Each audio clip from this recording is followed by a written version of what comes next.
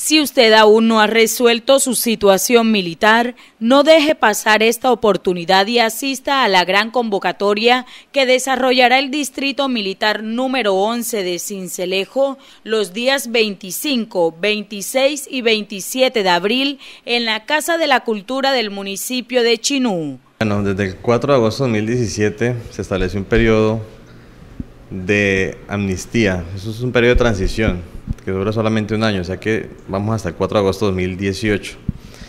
Eh, dentro de los cuales los ciudadanos remisos, que actualmente tienen una cantidad de multas impresionantes que pueden ascender hasta los 15 millones de pesos, se les está borrando todas estas condiciones de, de sanción. Entonces, en ese orden de ideas, eh, nosotros estamos llevando a cabo en atención al distrito en el día a día todo esta, eh, recibiendo toda esta población. Más, sin embargo, a la gente aquí le gustan las jornadas. Vamos a hacer una jornada en el municipio de Chinú del 25 al 27, tres días, 25, 26 y 27, donde vamos a estar eh, recibiendo todo este tipo de población. Vamos a traer más distritos de toda la jurisdicción para que sea una atención más rápida, más fluida. Porque siempre para esas jornadas se acumula mucha gente. Entonces, la idea es que la gente no espere, no espere que sea el 3 de agosto, porque el 4 ya no se puede hacer nada. Asimismo, informó cuáles son los requisitos que deben presentar los interesados. Lo primero que todo, el ciudadano que es remiso debe, verificarse en la página. Eh, ahí le va a aparecer si su estado es remiso o no, o qué es lo que debe hacer.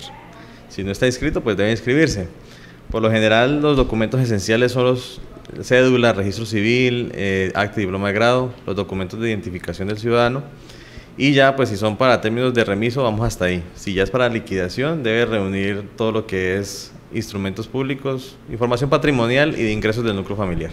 El capitán Iván Daniel Santo Domingo aclaró que aunque prestar el servicio militar hoy día es voluntario, definir la situación militar es una obligación para que las personas puedan acceder a un empleo, tanto con empresas públicas como privadas. Telenoticias para estar bien informado.